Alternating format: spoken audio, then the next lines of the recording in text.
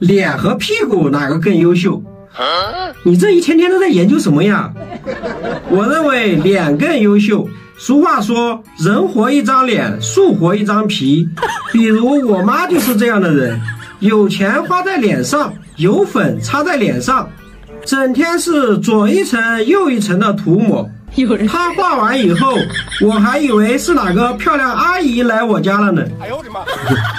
你说的没错，她这点是该批评。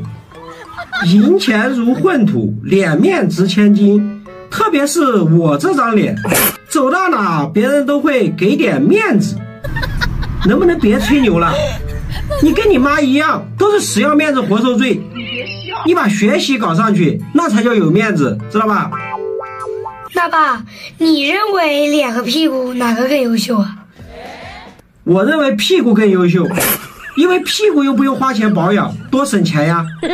而且屁股真诚朴实、任劳任怨，不会像脸一样皮笑肉不笑。发生天大的事他都能坐得住。还有他最大的优点就是忍辱负重、有担当。因为你从小屁股就没少替你脸挨打，你说哪个更优秀？